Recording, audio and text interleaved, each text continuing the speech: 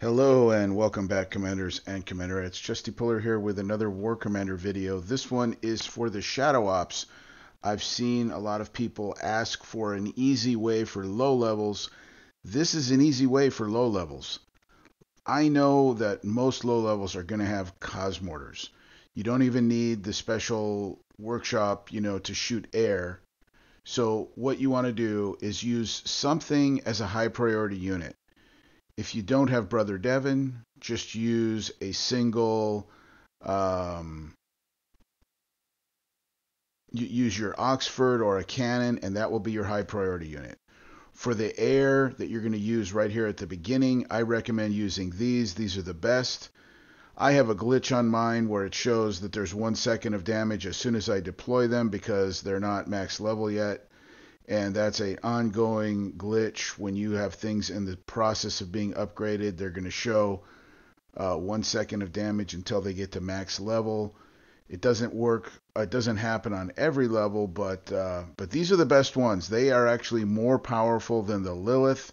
As far as their firepower that laser will slow everything down. I, I am using slow mo and then all you need is cosmortars. I'm using gus but you don't need gus all you need is Cosmortars. Now, your high priority unit, those units that are coming out, you don't have to worry about those units. What you worry about is the stationary infantry.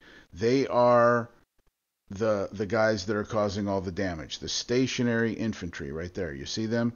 Use the slow-mo, special op, and that will slow them down. Uh, the stationary infantry are actually harder to kill than these tanks. These tanks right here that I'm targeting right now are easy to kill. And they don't have the range, they can't shoot you, they're extremely slow. Just back up, move forward, and back up again, you know, and then you'll get them. My uh, Cosmortars are max level, so I'm going to kill things a little bit more quickly. Um, now, uh, it's difficult to finish this base in one attack. It can be done but uh, don't worry about it because this base will not reset.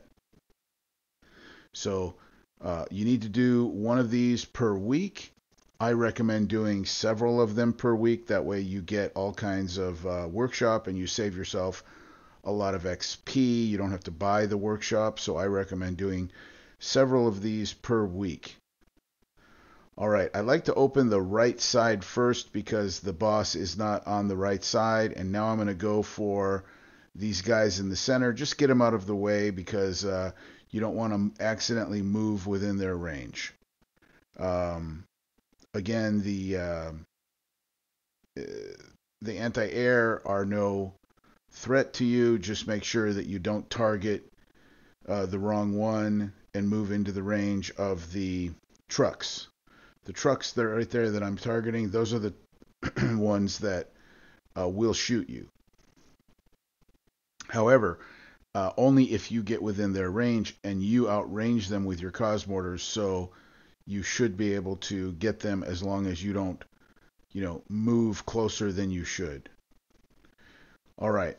As I said, the whole trick to doing this is the um, uh, clearing out the um, the infantry, okay? And they're they're so tiny and they're hard to target.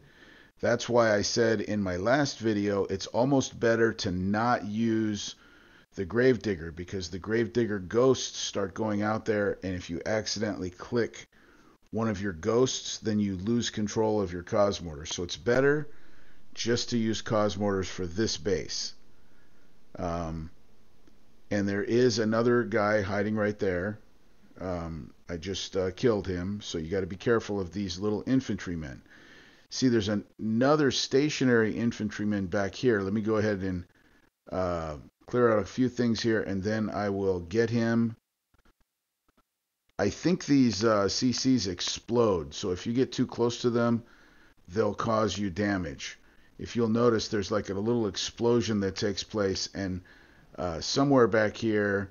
I don't know what's causing it, but I think it's these things right here that I think when I when I do that, I think they explode, uh, and and it doesn't cause much damage, but it will cause some damage. And then there's one more infantry hiding back here, and I want to get him from the back because he's too close to the boss. So um, we'll get him from the uh, coming from like this back side of the base and uh, clear out all of these uh, other anti-air turrets. They're not going to be a problem. Uh, once we clear out the anti-air and once we clear out this other side right here, then we can bring in uh, Lilith to finish the job off um, for um, for the boss.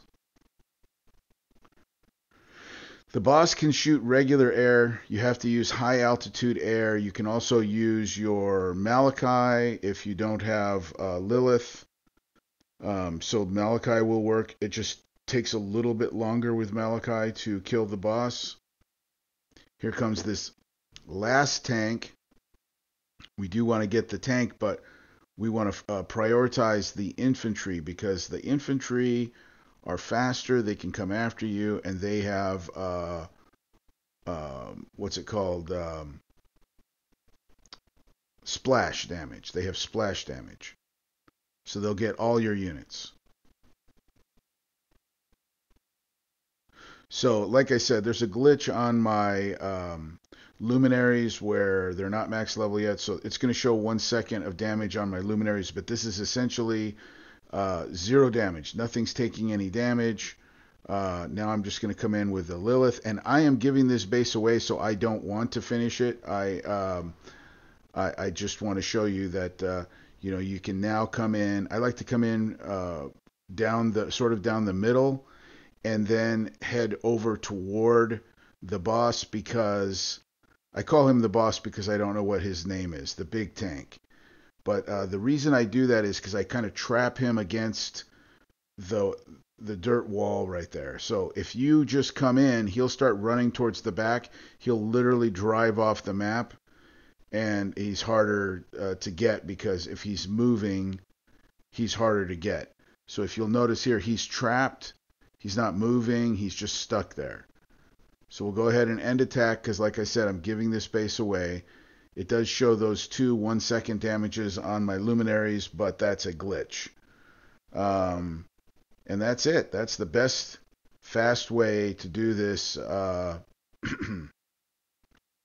um, Shadow Ops base. Hope it was helpful. See you guys next time.